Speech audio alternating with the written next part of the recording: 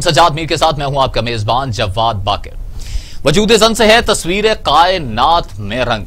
मगर आज जो ये रंग नज़र आए, ये दो तरह के रंग नज़र आए हैं। आठ मार्च का आलमी दिन मनाया गया, जिसमें मुल्क भर में भी रैलियाँ निकाली गई। औरत मार्च का जिनको नाम दिया गया। उसमें आवाज़ बुलंद की गई आज़ादी के हवाले से इस्लामी जमहूरिया पाकिस्तान में। दो से तीन साल हो गए नाजीन जब से ये मार्च शुरू हुआ है पाकिस्तान में और इसको एक अजीब सा रंग दिया जा रहा है जिसमें एक नारे भी बुलंद किए जा रहे हैं। इसी पर आज गुफ्तु करेंगे आगाज़ करेंगे। हमारे साथ स्टूडियो में मौजूद हैं पाकिस्तान के नामवर दानश्वर कलम नगार तजियाकार सजाद मीर साहब। सजाद मीर साहब आठ मार्च खातन का आलमी दिन।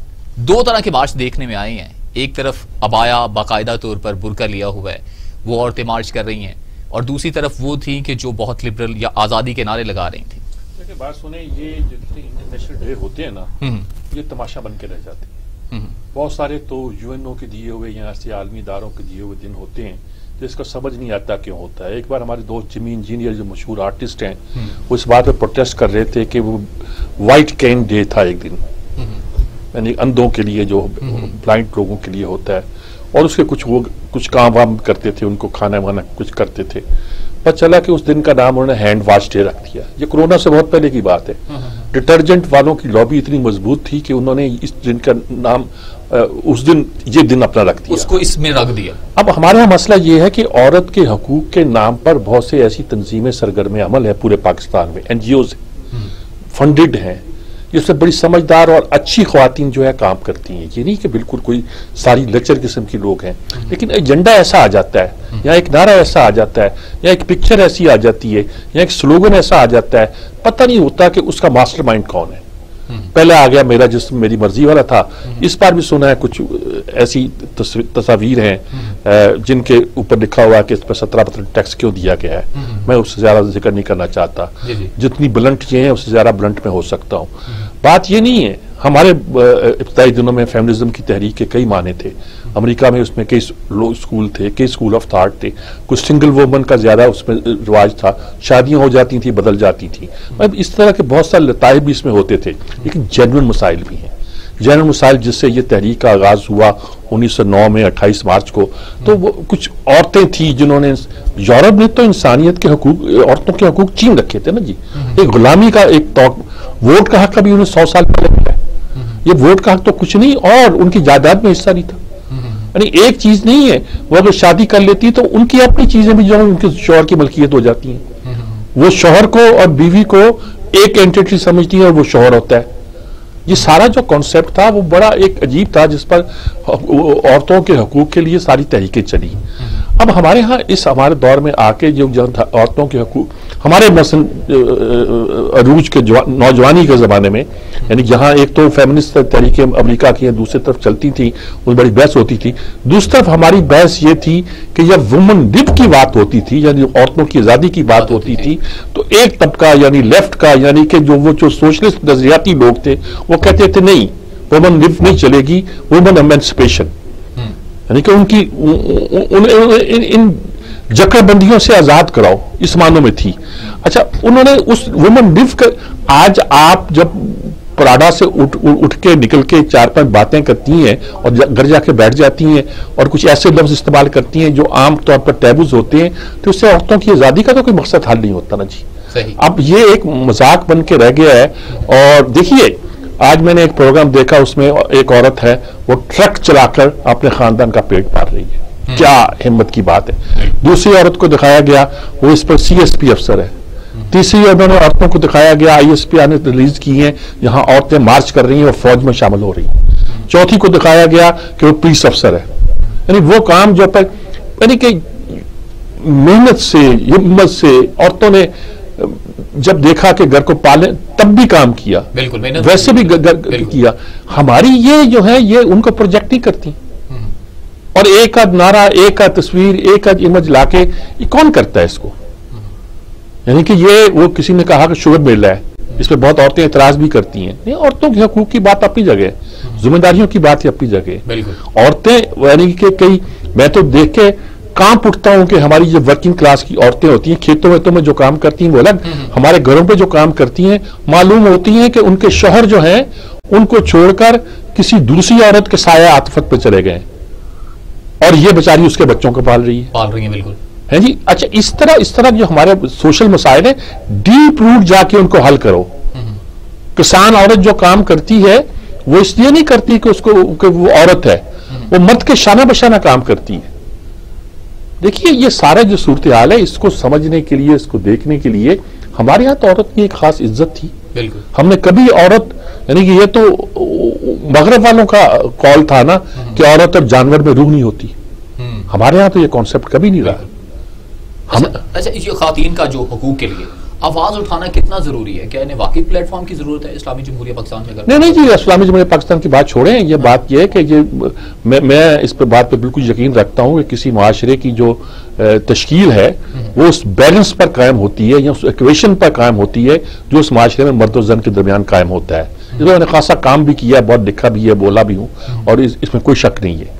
अच्छा लेकिन ये बैलेंस कायम कर रखना ये इक्वेशन कायम कर रखना यही माशरे की असल पहचान हुआ करती है। अब आप आप फैमिली स्ट्रक्चर तोड़ना चाहते हैं। आप वो नारे लगाते हैं जिसमें फैमिली स्ट्रक्चर तोड़ने के लिए हो सकते हैं और कुछ नहीं हो सकते। फैमिली स्ट्रक्चर हमारा मज़बूत है मगरब इससे चिड़ा हुआ है। उन्हें पता है कि पाकिस्तान की अगर तो तस्कीर करना है तो फैमिली स्ट्रक्चर को तोड़ना पड़ेगा। देखें जब हमारी औरतें होती थी तो घर पे राज करती थी जो। मैं नहीं कहता घर पे बैठे। बिल्कुल। बाहर निकले काम करें शाना बेशाना काम करें। कई मुल्कों की हुक्मरान हो गई अब तो। हाँ। हमारे मुल्क ने औरत दुनिया की पहली मुसलमान वज़ीर आज़म, हमारे मुल्क में हुई है ना जी? हाँ। किसी और मुल्क में तो नहीं हुई है। उस वक्त तो एशिया के तमाम मुल्कों में औरतें वज़ीर आज़म थी इंडिया में भी बांग्लादेश में भी श्रीलंका में भी। ये आप भूल जाए उ, उ, उस कॉन्सेप्ट को दुनिया में जो आप लेके बैठे हुए हैं। ये नहीं है। मसला ये है कि इसके नाम पे आप कहना क्या चाहते हैं? आप किन चीज़ों की नुमाइश करना चाहते हैं? आप अब ये आपने बताया वो उ, उ, उ, उनका ये है कि एक बड़ी माँ होगी बहन होगी वो कहती है कि मैं क्या ये इजाज़त लूँ तुम्हारे बाप से कि मेरी बेटी को डांस की इजाज़त दो। बेटी की अम्मी इसमें हर्ज क्या है? अच्छा बस बात खत्म हो गई। आपने मैसेज पहुँचा दिया फिर उसके बाद शीमा करवानी का रक्स देखिए। अच्छा आप ये इमेजेस देते हैं। दूसरे मैंने आपको इमेज बताए। बिल्कुल। वो भी एक पुराने ट्रेडिशनल किस्म के जो चैनल है हमारे यहाँ स्टेट ओन चैनल है वो वो इमेज देते हैं। लड़कियाँ फौज में काम कर रही हैं। डॉक्टर हैं, इसमें लेफ्टिनेंट लेफ्टिनेंट जनरल हैं। हाँ, हाँ। हमारे में उनकी मेजर रिटायर आमर साहब जो हैं बड़े लीजेंडरी उनकी भांजी हैं जो लेफ्टिनेंट जनरल हैं और सर्जन जनरल हैं इस वक्त पा, पाकिस्तान फौज की। और और बहुत सी औरतें बड़े अहम ओहदों पे फौज के अंदर काम कर मुझे याद है कि मैं वहाँ हम गए थे जब क्यानी ने टेक ओवर करना था तो एक यंग सी लड़की ने आके यूँ सबको अल्ताफ हसन कुरैशी, शामी, मुजीब शामी आरफ निज़ाम सब खड़े थे, सलाम किया और मैं कैप्टन थी उस वक्त, फलां हूँ। फिर वो मेरी तरफ़ आई कि, सर, मैं आपकी स्टूडेंट हूँ। तो फिर वो अलग बात है कि सब लोगों ने पूछा, कैसा पढ़ाते थे? ये करते थे, वो तो अलग कहानी है। लेकिन मतलब ये है कि बड़ी बड़ी औरतों को बड़े बड़े तरीके से बड़े बड़े एतबार से अपने काम करते देखा है। और ये उनको बाकी रह गई कि उनकी सैलरी, भाई, कोई हमारे यहाँ का मसला थोड़ा है? वेस्ट में भी आप सैलरी कम देते हैं औरत को। कोई वहाँ बराबर सैलरी करा दी है आपने? हाँ। अरे भाई बात यह है कि कुछ चीज़ें ऐसी होती अब जब ट्रक ड्राइविंग कर रही है वहाँ मैंने ऑस्ट्रेलिया में देखा था कि पहाड़ों की संगलाक रस्तों में घूमती फिरती सड़कों पर वो एक खातून थी मुसलमान थी और इंसेस्टर उससे पाकिस्तान से गए थे वो ट्रक ड्राइविंग करती थी बड़ी बड़ी कॉन्फिडेंट थी। हमें इसी पर गुफ्तगू करने के लिए ज्वाइन किया है जमात इस्लामी के रहनमा फरीद पराचा साहब ने जी। जी फरीद पाचा साहब हमारे साथ उनसे पूछते हैं। वालेकुम फरीद पाचा साहब। जी वालेकुम देखें जी इंसानी इंस, औरतों के हकूक के तो हम बिल्कुल मुखालफ नहीं है। कोई बिल्कुल ठीक है। जिम्मेदारियों के भी कायल हैं। और मैं अभी इनसे ज़िक्र कर रहा था कि हमारे जमाने में जब वुमन लिव की बात होती थी तो हमारे इश्तराकी दोस्त फ़ौरन कहा करते थे नहीं वुमन एमेंसिपेशन हमारे यहाँ जो तस्वर है आज़ादी नस्वा कह लीजिए या हकूक नस्वा कह लीजिए ये किस समत में जा रहा है? और आप लोग तो कुछ कोशिश करते हैं क्या इलाज है इसका? क्या हाल है इसका? जी बिस्मिल्लाहिर्रहमानिर्रहीम इस्जाद मीर साहब पे ये उस सिमत जा रहा है जिस सिमत से वेस्ट वापस आ रहा है। हम्म। यानी हकीकत ये है कि वो उतनी बड़ी तबाही देख कर वेस्ट की औरतें चीख उठी हैं। वहाँ फैमिली लाइफ के लिए अब बाकायदा एनजीओ बनी हुई हैं और एक लिहाज से एहतजाज कई स्टेज के ऊपर एहतजाज हो के हो रहा है हम्म। लेकिन हमारे यहाँ इसको एक यानी जैसे कहाँ कहाँ जरब लगानी है हम्म। हमारी सोसाइटी पे तो उसमें एक फैमिली लाइफ या खानदानी निज़ाम है जिसपे एक जरब लगाई जा रही है हम्म। हालाँकि दुनिया का सबसे बेहतरीन फैमिली लाइफ है औरत को जितनी इज़्ज़त जितना वकार जितना शरफ हम्म। इस्लाम ने दिया है हमारी मुआशरत ने दिया है हम्म। कि औरत माँ के रूप में, में हर घर में यानी सबसे बुलंद मकाम जो है वो माँ का है। हम्म। और अब भी है यानी अब भी फैमिलियाँ जो हैं वो वहाँ पे पूरा एहतराम अगर किसी को मिलता है तो वो माँ को मिलता है। और इसी तरह बेटी को बहन को और यही जो था। अब ये ना कि जिस तरफ़ ले जा रहे हैं वो तो मतलब खुद औरत के लिए तबाही का रास्ता है। और उस रास्ते पे चल के जो अब उसको एक बड़ा सुख नसीब है कि वो उसका उसको माश की कोई फ़िक्र नहीं है। हम्म। उसका उसके उसका खावत कमाने वाला है उसका भाई उसका उसका बेटा उसका बाप लेकिन फिर वो बेस्ट की लाइन मेरा ख्याल जी आवाज़ आवाज़ दीजिएगा दोबारा या? राबिता मुनकिता हो गया जी। मेरा ख्याल में वो दूर है शायद दूर ग्वादर में है कहाँ वो- है। तो आवाज़ का कुछ गड़बड़ हुई अगर दोबारा मिल जाएगा तो जाएगा, लेकिन- वो बड़ी खुली बात कर रहे हैं। देखिए जमात इस्लामी का तो खैर ये मौकफ होना चाहिए और है। हम्म। और लेकिन एक बात तो मैं भी कहता हूँ और एक एक सोशल साइंस के अदना तालब इलम के तौर पर कहता हूँ कि आप फैमिली स्ट्रक्चर तोड़ना चाहते हैं। फैमिली स्ट्रक्चर तोड़कर आपको बहुत कुछ हासिल जब मुशरफ आए थे तो मुशरफ से अमेरिका ने एक ही बात कही थी मैं ज़िम्मेदारी के साथ कह रहा हूँ। और कहा था कि भाई ठीक है ह्यूमन राइट्स फलां सिविल लिबर्टीज में हम इस पर इसरार नहीं करते लेकिन एक बात है तुम अपने मीडिया को आज़ाद करो। और मीडिया से मराद था कि इलेक्ट्रॉनिक मीडिया का जहाँ आगाज़ करो और इलेक्ट्रॉनिक मीडिया को आज़ादी दो। मैं नहीं समझा था और बहुत से लोग समझे थे कि ये मुशरफ को क्यों कहा गया। हमारी इन्फॉर्मेशन थी और बहुत ऑथेंटिक इन्फॉर्मेशन थी कि ये कहा गया कहा गया। और मुशरफ इसी पर ये लाइसेंस दे रहा है। आप ये कह सकते हैं कि उन्हें समझ अब बाद में समझ आई ये क्यों किया गया? बाकायदा एजेंडों के लिए ज़रिए से नफूज किया जाता है हमारे मैं अब चैनल्स तो नहीं कहूँगा हमारे मीडिया में और कोशिश की जाती है कि उस एजेंडे के साथ अनकॉन्शियसली आप बहुत सी बातें करते हैं। सही। आप बहुत सी ऐसी चीज़ें कह, कहते हैं जो हमारे कल्चर से हमारे माशरे से हमारे फैमिली स्ट्रक्चर से लगा नहीं खाती। तो खुदा के लिए औरत को उसके हकूक ज़रूर दिलाएँ। खुदा के लिए उसको उसकी जिम्मेदारियों का एहसास भी ज़रूर दिलाएँ। लेकिन खुदा के लिए इसके नाम पर आप फाशी ना फैलाएँ। अच्छा आपने कहा हमारे इश्तराकी दोस्त हैं वो वुमेन लिव को नहीं एक्सेप्ट करते थे। वुमेन एमेंसिपेशन का लफ्ज इस्तेमाल करते थे। अब सारे के सारे पता नहीं अमरी- अमेरिका को प्यारे हो गए अब सारे के सारे उधर चले गए। उससे साथ ही पहले का यहाँ जो रवैया था बहुत मुख्तलिफ़ हुआ करता था। मैंने बताया ना कि एक मूवमेंट फेमिनिज्म की वो थी जो कहीं अमेरिका में कहीं पेरिस में कुछ मुझे उस जमाने में नाम भी याद थे कि फलां औरतों का ग्रुप ये कहता है फलां ये कहता है फलां ये कहता है। फिर चार छह साल के बाद हमें अंदाज़ा हुआ कि ये फ्रीद प्राचे साहब से हमारा रब्ता दोबारा बहाल हो दोबारा हो गया। जी फरीद प्राचा साहब आप बात कर रहे थे बीच में कट गई टेलीफोन बंद हो गया। आप अपनी बात को जारी रखें। अब यही बता रहे थे कि हमारे यहाँ जिस समय हम जा रहे हैं मगरब वापस उधर आया है लेकिन हम गलत समय पर जाना शुरू हो गए। बिल्कुल हमें एक बेहतरीन फैमिली सिस्टम हमारे पास मौजूद है जिसमें औरत की इज़्ज़त है वकार है शरफ है उसको उसके लिए निगाहें झुक जाती है। माँ हर घर के अंदर सबसे बेहतर पोजीशन माँ की है। और लोग जो है वो औरत की इज़्ज़त करते हैं। वहाँ तो फैमिली का फ़र्क वो है जो कमा के लाए। वो बाप नहीं अगर कमा सकता तो ओल्ड एज उसका है। और इसके साथ ये कि इस फैमिली लाइफ का और जो अपने रिश्तों उन्हीं रिश्तों से कट जाने की सजा ही एक है कि कुत्ता घर का फर्द है बाप घर का फर्द नहीं है माँ घर का फर्द नहीं है। तो ये सोसाइटी है जिस सोसाइटी में एक करब है एक दुख है औरत परेशान है।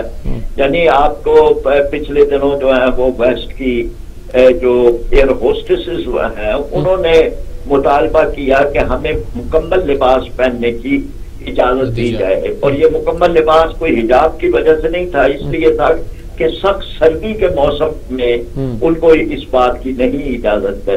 लेकिन उनको इजाज़त नहीं मिली। इसलिए कि औरत को खिलौना बनाना चाहते हैं उसको रखना चाहते हैं चाहे वो कितनी अजियत उसे बर्दाश्त करनी पड़े। तो ये वो चीज़ है कि जिसकी तरफ़ अब हमारी कुछ एनजीओ यहाँ चंद खवातीन है जो ले जा रही हैं। मैं यानी यह कर रहा था कि डॉक्टर आफिया सिद्दीकी कश्मीरी बेटियाँ फलस्तीन की बेटियाँ देहातों में रहने वाली और जो घड़े भर भर के लेके आती हैं दस दस किलोमीटर से उनके तो कोई मसाइल ही नहीं है ना यानी इन औरतों की नज़र के अंदर से उनको जो है वो यती बेवा औरतें और तलाक वाली औरतें वो भी उनके मसाइल में नहीं है। उनके मसाइल उनके ये किसी तरह से भी जी बहुत शुक्रिया फरीद प्राचा साहब। आवाज़ आपकी फिर कटने शुरू हो गई लेकिन आपकी बात माशाल्लाह बड़ी वजाहत के साथ सब सामने आ गई है और मेरे ख्याल लोगों तक भी पहुँच गई होगी। खुलासा इसका यह है कि इस पर जितना बोला जाए कम है। इस पर बहुत कुछ हमने कहा है बहुत कुछ लिखा है। अदब के हवालों से भी गुफ्तु की है। तनकीद शुरू हुई थी नसाई तनकीद। और तो मैंने पूछा उनकी एक चैंपियन से जो हमारी बहुत पुरानी शायरा जाने वाली थी कि भाई ये कब से शुरू हुई तनकीद? उन्होंने कहा नाइन्टी थ्री से। मैंने कहा सेवेंटी नाइन में तुमने मेरा मजमून छापा था जिसके ये ये फिक्रे ये ये फिक्रे किस बात की लामत है? तो वो हंस के कहने लगी आप तो खैर हमारे उस्ताद हैं। तो मुझे डर है कि इनमें से कोई ना निकल आए मुझे ब्रेक पर जाना है बिल्कुल। हर जगह आपके शकीर कहीं ना कहीं मौजूद है ब्रेक पर जाना है मुझे। ब्रेक से लौट कर आते हैं तो गुफ्तु आगे लेकर चलते हैं।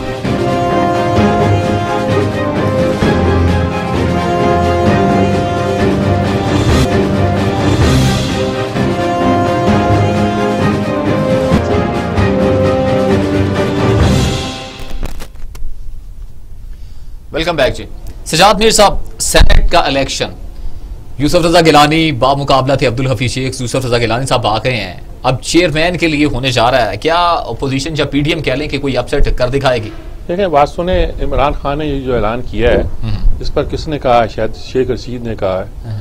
शेख रशीद को बात करते हुए सोचना चाहिए उसने कहा कि हुकूमत और रियासत इसमें एक है।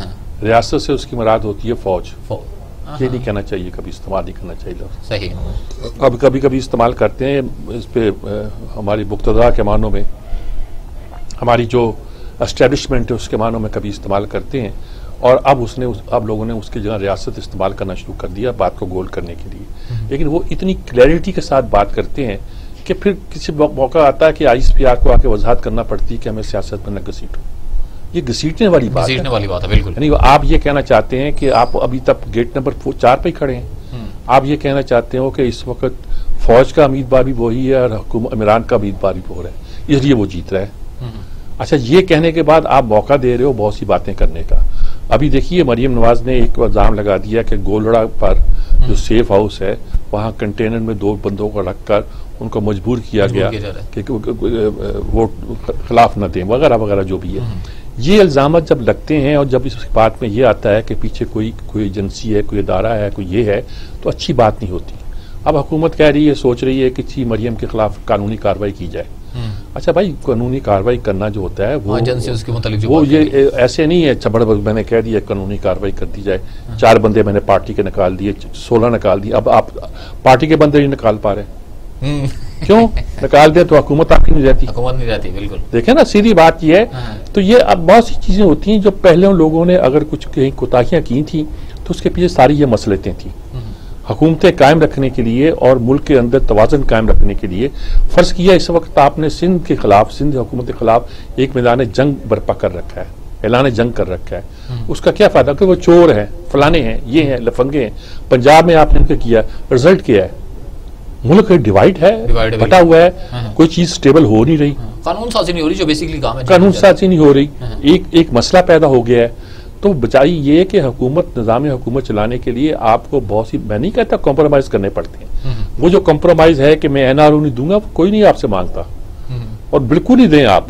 अगर माँगता भी है तो पोजीशन वाले कहते हैं कि नहीं मांगते भाई। हाँ नहीं वो अगर मांगते भी है तो ना दें। लेकिन खुदा के लिए कम अज कम ऐसे हालात तो पैदा करें कि निज़ाम हुकूमत चल सके। वो चलाना आप काम आप कहते नहीं ये इनको चाहिए था कि देख रहे हैं अब आम पिस रहे हैं इनको चाहिए था कि ये आके हुकूमत की बात क्यों करते भाई वो? वो तो कहते हैं कि इस हुकूमत के होने से ही वजह से ये सारी गुर्बत महँगाई ने मेरे साथ ऑफ़र भी करवाई थी कि हम मिलके बैठ को तैयार हैं हम कोई प्लान सभी ने बिलावल ने पहले दिन हाँ, कहा था हाँ। ये कोई ऐसी बात नहीं है सभी सभी कहने को तैयार थे और करने को तैयार रुझान है। अरे उन्होंने कहा इसको बदलो भाई हम्म। नैब कानून को। वो अठतीस शिकें थी उन्होंने कहा अच्छा इसको यूँ कर दो।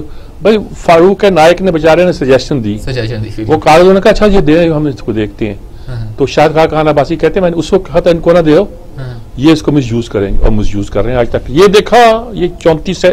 एनआरओ मांग रहे हैं। हाँ, तो भाई देखो इस तरह नहीं चलेगी हुकूमत। अब शेख रशीद ने भी कहना शुरू कर दिया। मुफामत की बात नहीं परवेज अलाई भी कहता है अपने लोग कहना शुरू कर देंगे फिर अच्छा इसलिए शेख रशीद से भी अब मुँह जरा मोड़ा हुआ थोड़ा सा सुना है असेंबली में हाथ ही मिलाया था निकलते हुए। बाकी उनसे मिलाया था उनसे मिला नहीं था। अच्छा उसके लहजे में भी तब्दीली से नज़र आती है शेख रशीद के लहजे में। गालबन उसको वज़ीर दाखिला बनाने के बाद इनको कुछ तो थी कि पता नहीं कहाँ से मदद आएगी क्या अभी मदद वो नहीं आ रही।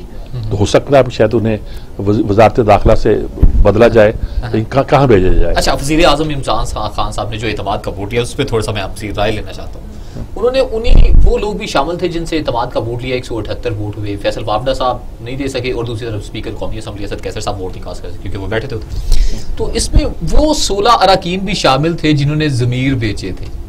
बहुत ये सारे पूछ रहे हैं कि जब आपके वो क्या वो नाम भी लेके आएँगे आ, आप वो सोलह बंदे या कुछ बीस बंदे कहते हैं जो कहते हैं कि इनकी सफों में खराब लोग हैं अब निकाल के दिखाएँ उन्हें। हम्म, भाई अगर आप बीस बंदे निकाल देते हैं तो आपकी बंद हुकूमत में अगर 180 वोट भी हैं हम्म, बीस निकाल देंगे साठ रह जाएँगे। एक सौ साठ से तो अपोजिशन वो तो नहीं चला सकेंगे। हाँ, हाँ। बड़ा मुश्किल हो जाएगा। तो ये सारी चीज़ें वो है जिसपे आपको गौर करना पड़ता है। आ, ये मसलियत नहीं होती सिर्फ़। मसलियत का लफ्ज भी इतना आसान नहीं है। हम्म, हमारे यहाँ मसलियत दीनी का लफ्ज इस्तेमाल होता है।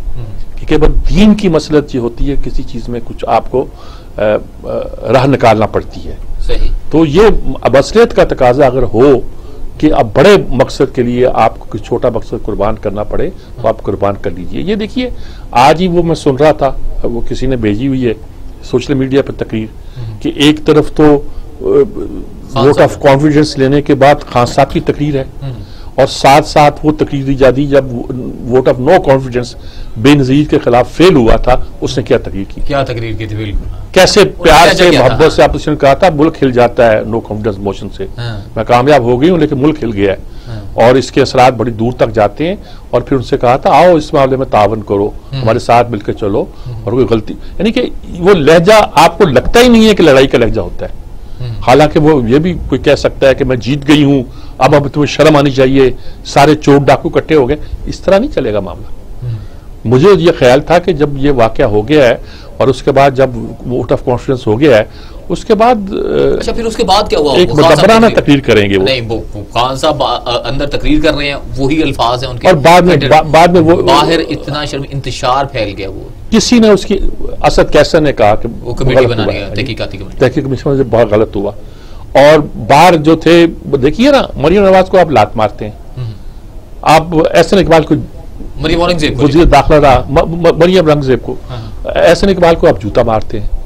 शाद खान बासी और वो वज़ीर आज़म सबक वज़ीर आज़म। मलक को आप थप्पड़ मारने की कोशिश करते हैं। उन्होंने पकड़ लिया था बाद में एक लेकिन पुलिस किधर थी? वो शेख रशीद ने कहा कि उन्हें वही प्रेस कॉन्फ्रेंस में रहना चाहिए था जहाँ वो जगह मुकर थी हाँ। वगैरह वगैरह जो, जो भी वो, वो, वो, वो, वो दलील देने की कोशिश कर रहे हैं। लेकिन ये बात ये है कि फिर मरियम ने कहा ना कि दो थप्पड़ मारे दस मारेंगे। दस मारेंगे, हाँ। लोग बहुत चिड़ रहे हैं कि ये क्यों कहा। मतलब ये है कि ये सिविल जंग की धमकी है। मैं ये साफ़ कहता हूँ। हुकूमत का इकदाम सिविल जंग की तरफ़ आगाज़ है और जवाब में उसकी धमकी है। ये कोई आसान काम नहीं है।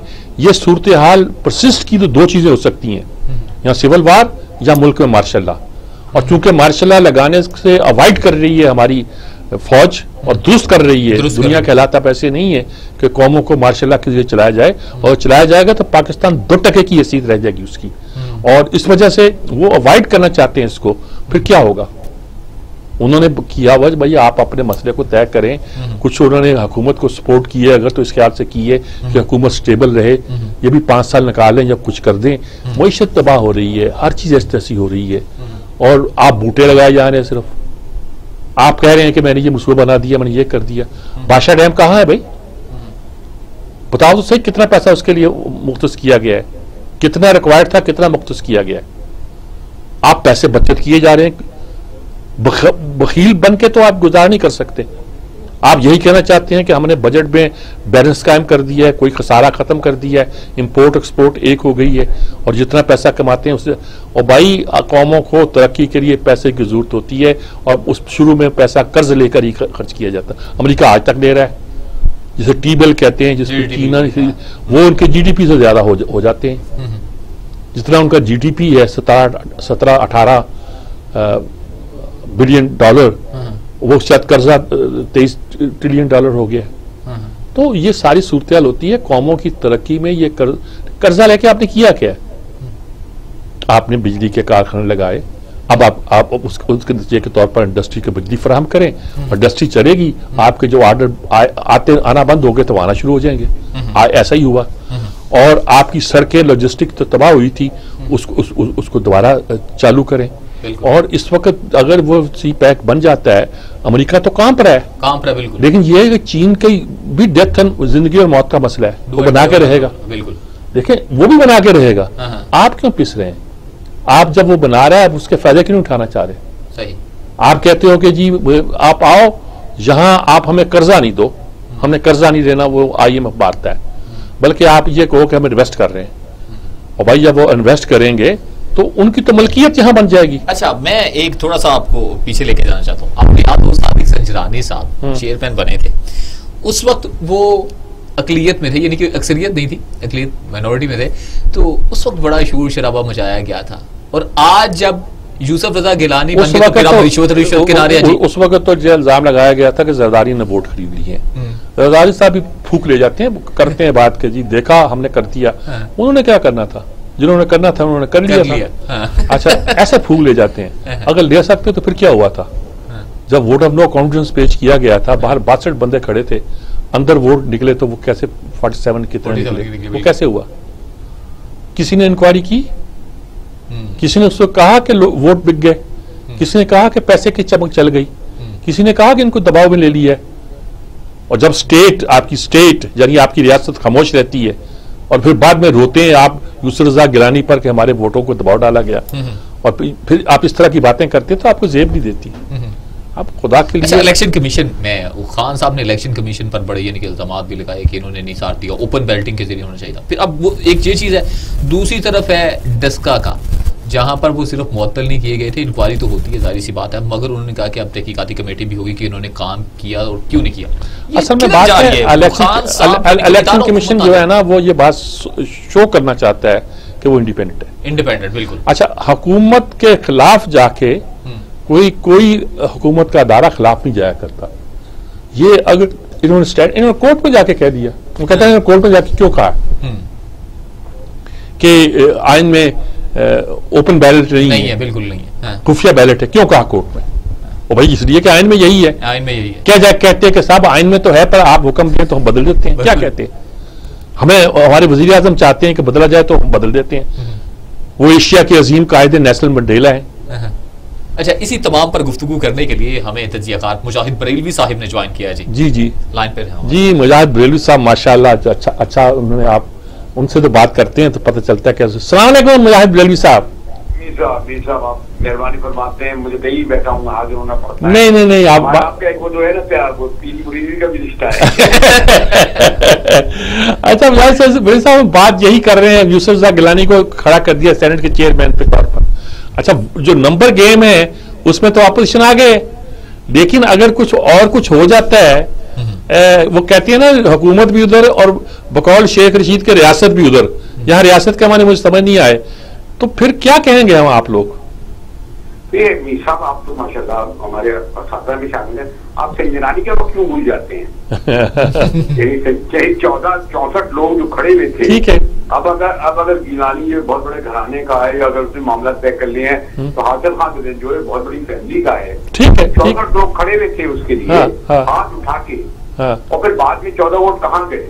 पर आसिफ दरिंजो ने अपनी ज़िंदगी में भी कहा था मैंने पहले भी कह चुका हूँ और ताहिर जो रिकॉर्ड कहते हैं कि हमें पता है और हमने नून लीग और पीपल्स पार्टी की क्यादत को वो नाम भी दिए कि जिन लोगों ने वोट नहीं दिए हाँ। उन्होंने कमेटी भी कायम नहीं की उन्हें कार्रवाई नहीं करी ऐसे मैं तो भी समझता हूँ कि देखिए जी सॉरी चूजे मैं कोई बहुत बड़ी बात कहना नहीं चाहता हम्म। कि आप जब इमरान खान के सत्रह लोगों ने वफादारी तब्दील की हम्म। और सॉरी चूजे मुझे अफसोस हुआ कि इमरान खान को ये नहीं करना चाहिए था तो पहले वो मुस्ताफी हो जाता हम्म। तो उन्हीं बिकने वालों लोगों से उसे एतमाद का वोट लेके वो प्राइम मिनिस्टर बना हम्म। लेकिन कल अब सवाल है पीडीएम का हम्म। जब आप उनके वोट जो आपके एक सौ इकसठ से उनको एक सौ उनहत्तर हो गए हम्म। आपको आठ वोट उनके मिले यानी खरीदे गए मैं नहीं समझता कोई ये नहीं खरीदे गए हूँ हम्म। जब वो हो गए अब अगर कल खिजरानी के इलेक्शन में गिलानी का लूज कर जाते हैं फिर आप क्या कहेंगे? आप जीत जाए तो स्टेब्लिश की मदाफत नहीं आईएसआई की मदाफत नहीं। हम्म। आप हार जाए तो कहें आईएसआई आ गई स्टेब्लिशमेंट आ गई। जैसे कि शुरू कर दिया है। हम्म। पढ़ा था मरियम बीबी को इन सबको।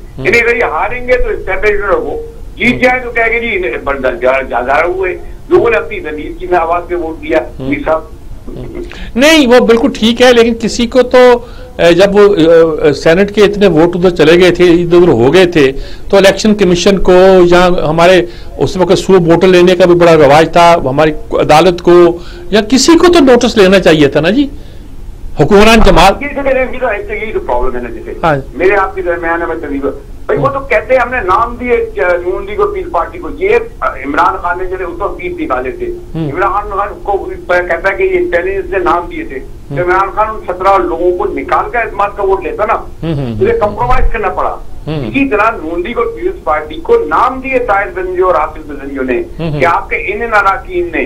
बल्कि मैं ये भी मेंशन कर दूँगा वो शायद एक रुपये को नहीं मिला हो। वो जो बहुत बहुत आगे बढ़ बढ़ के बात किया करता था शायद इसका टिकट या उसको खुद किया या क्या किया। इन्होंने क्या किया मीसा दो साल में इन पार्टियों ने हम्म। जिन लोगों ने वोट बेचे और बेचारे पूरा हासिल बदंजो के साथ ये किया। हम्म, इसलिए मुझे डाउट ये होगा कि ये जो पाँच वोट का फ़र्क है हम्म। खुदा ना करे खुदा ना करे डेमोक्रेसी अच्छा, कुछ- तो, यकीनन अ, gi- गिलानी साहब को जीतना चाहिए अगर अपोजिशन करती है। लेकिन अगर उलट हुआ तो फिर क्या होगा? आपके पास जवाब रहेगा? क्योंकि आप भी तो कैसे जीते जब आपके एक सौ इकसठ असेंबली के अरकान थे एक सौ उनहत्तर वोट आपको कैसे मिल गए? हम्म। अच्छा अब ये ना कोई।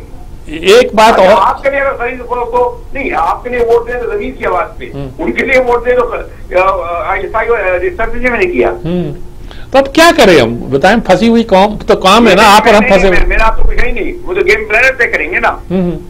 वो तो गेम प्लानर तय करते हैं ना साहब मैं वो- वो लव इस्टेब्लिश से सवाल नहीं करता। हम्म। पाकिस्तानी पॉलिटिक्स में पूरा अब गेम प्लानर तय करते हैं। पहले लोग कहते जी हाँ भुट्टो साहब जीते वहाँ जीते हाँ भुट्टो खिलाफ पॉपुलर मूवमेंट थी पीएनए की। कोई कह नहीं सकता।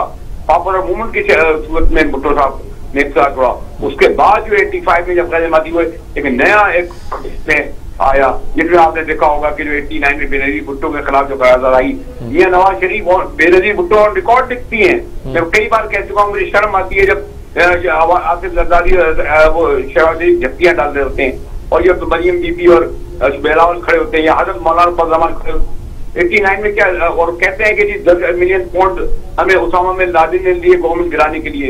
एयर मार्शल अजहर खान के आपका सामने कितने पैसे दिए गए? ये वो लोग जो खड़े हुए हैं इनका कोई जमीर आवाज़ नहीं देती। ये माफ़ी भी नहीं मांगते ये सब। हम्म। माजत तो करें ना कि इन्होंने गलती की।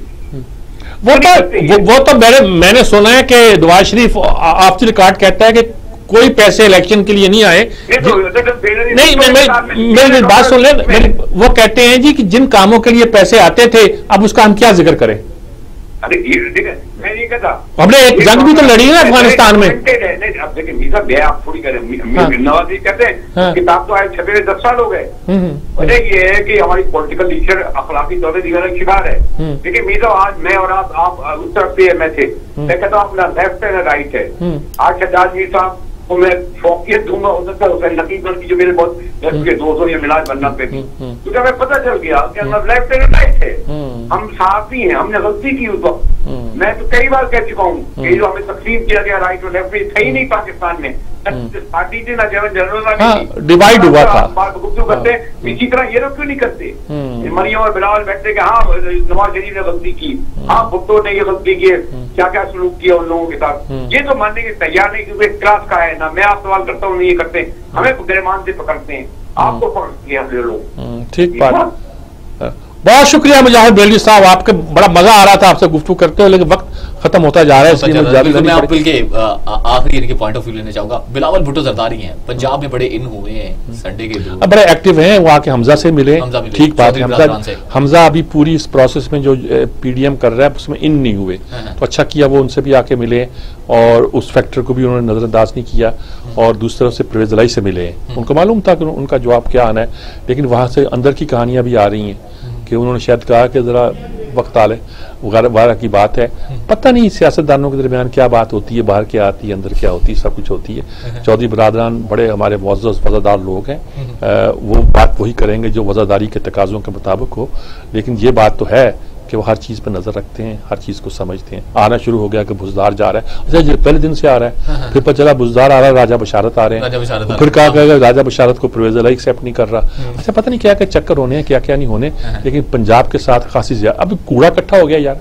हाँ दोबारा हो- हाँ। लाहौर में कूड़ा इकट्ठा हो गया है। ये तो बेगैरती की इंतहा है। आप तौसा शरीफ जा रहे हैं और आप पता नहीं बाद में- जब उनका नाम आया कि ना उनको हटा रहे हैं हाँ। एतमाद तो बुजार साहब बड़े एक्टिव नज़र आए मुल्तान का दौरा कर रहे हैं। दौरा कर रहे हैं लेकिन ये है कि पहले आप जहाँ बैठे हुए हैं उसके इर्द गिर्द की गंदगी साफ़ करें ना जी। हाँ, हाँ। ये लाहौर नहीं है ये आपके इर्द गिर्द की गंदगी है जो आप साफ़ नहीं कर रहे। मैं दोबारा फ़िक्र दोहराता हूँ अपने इर्द गिर्द की गंदगी तो साफ़ करें। क्लोजिंग रिमार्क्स में क्लोजिंग नमाज़ यही है जनाब के मुल्क अभी बुरहान से चल रहा है जी। तमाशा आएगा और फजल रहमान कहते हैं कि मैं तो कहता हूँ कि पार्लियामेंट से निकलो और इनके खिलाफ डायरेक्ट लड़ाई लड़ो। सही। तो फजल रहमान का कहीं पॉइंट सही साबित ना हो जाए अल्लाह ना करे ये सिस्टम चलता रहे। सही। बहुत शुक्रिया मेरे साहब प्रोग्राम का वक्त अपने अख्ताम को पहुँचा अपने मेजबान जवाद बाकी को दीजिएगा इजाज़त। अल्लाह